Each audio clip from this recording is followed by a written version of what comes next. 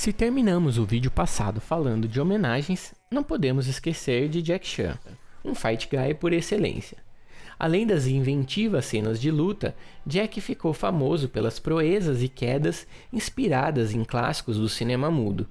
Uma das cenas mais famosas da época é essa de O Homem-Mosca. O astro Harold Lloyd de fato escalou um prédio e com apenas três dedos na mão direita. Porém, a proeza do relógio foi um truque. Privilégio inexistente em Projeto China.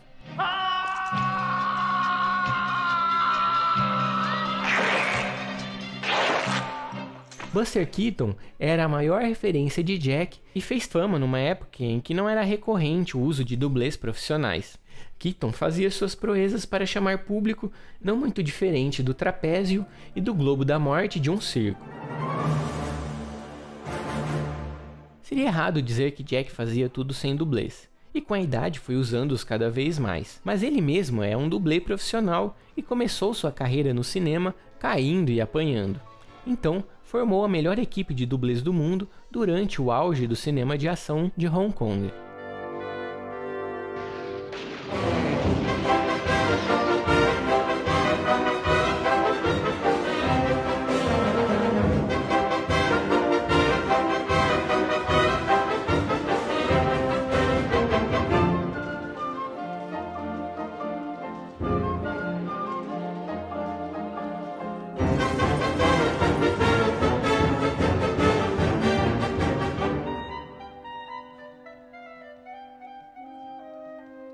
Atriz do badalado Tudo em Todo Lugar, Michelle Yeoh, como Cynthia Ken e Moon Lee, começaram suas carreiras como dançarinas antes de se tornar exímias dublês e artistas marciais.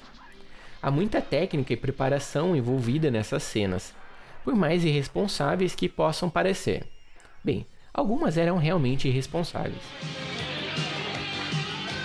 Você já deve ter ouvido falar do vidro de açúcar usado como objeto de cena, mas uma versão mais moderna, usada em garrafas e pequenos objetos, é feita de um tipo de resina. Para painéis maiores, são usados vidros temperados que são mais seguros porque quebram em pedacinhos e não cacos afiados.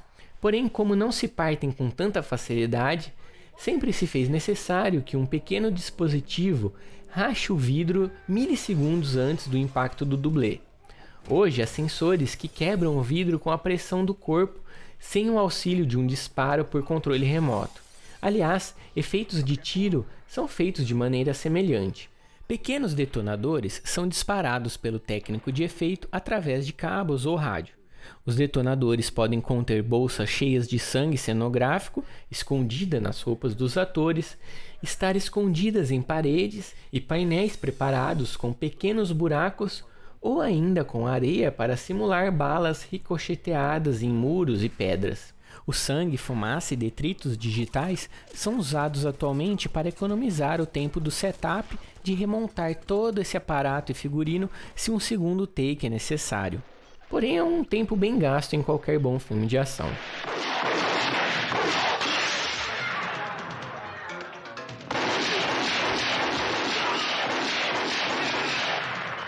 Tom Cruise é um exemplo de profissionalismo quando quer exercer seu vício em adrenalina em frente às telas. Tom separa uma ou duas grandes estantes em cada nova entrada da franquia de Missão Impossível. As a kid, anytime I get to the edge, I want to jump off. I don't know what it is. It's subconscious. I don't want to kill myself. I want to fly. And action! Let's see it's a movie.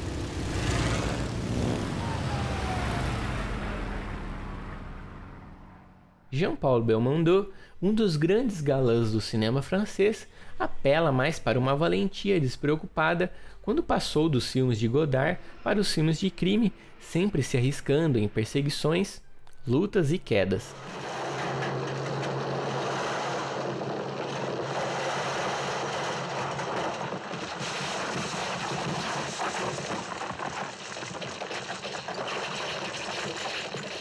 Agora falando de grandes dublês de fato não americanos, temos a neozelandesa Zoe Bell,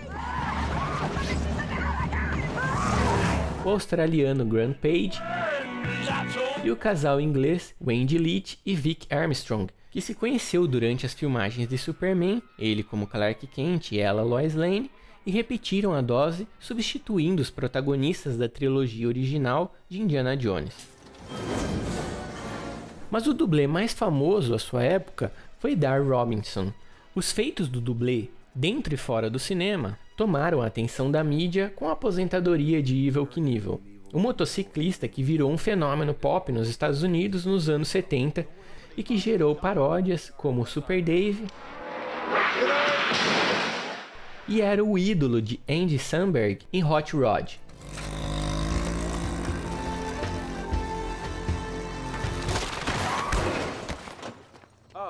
Especializado em quedas, por isso um Fall Guy, Robinson pulou duas vezes da então construção mais alta do mundo, a CN Tower.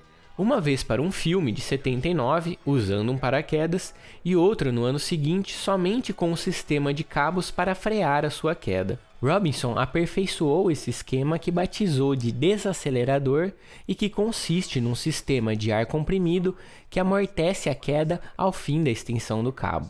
Preso por um colete sustentado pelo fio de aço escondido em sua perna, Robinson interpreta o vilão que encontra o seu fim ao cair de um prédio em um homem destemido. Cabos sempre foram usados no cinema para esse tipo de cena.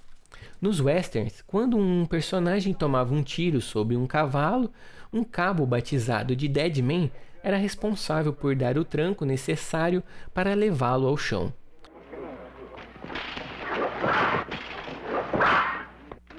Mas o sistema de Robinson, cada vez mais otimizado, é o padrão hoje para repetir milimetricamente saltos e puxões em pleno ar.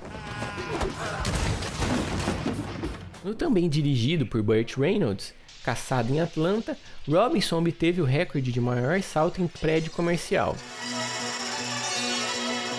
E falando em Reynolds, o ator sempre foi um dos grandes defensores e amigo de dublês. O maior sucesso de bilheteria de sua carreira como protagonista foi o filme Agarre-me se puderes, dirigido pelo dublê e amigo Hal Nedham, um dos poucos dublês a passarem para a cadeira de direção. Ele e Reynolds fizeram vários filmes juntos, sempre com grande atenção para feitos e acrobacias. Hooper trata do cotidiano de um dublê livremente baseado na vida de Buddy Joe Hooker, que participou das filmagens, fazendo inclusive as duas estantes mais perigosas do filme: o salto do helicóptero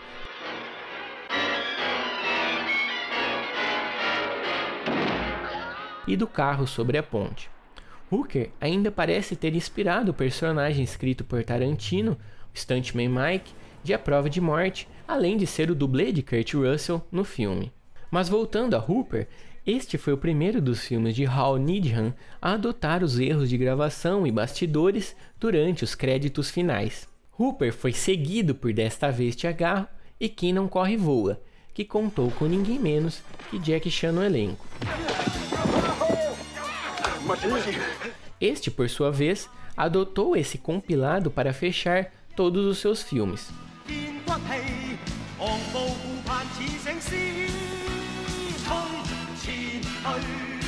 Sinidhan foi pioneiro em trocar as pads de proteção pela cadeira de diretor. Hoje esse movimento está mais comum. Os dublês Chad Stahelski e David Leitch conseguiram, ao dar vida à bem-sucedida franquia John Wick, carreiras próprias como diretores, sempre dando o holofote necessário para os feitos de dublês.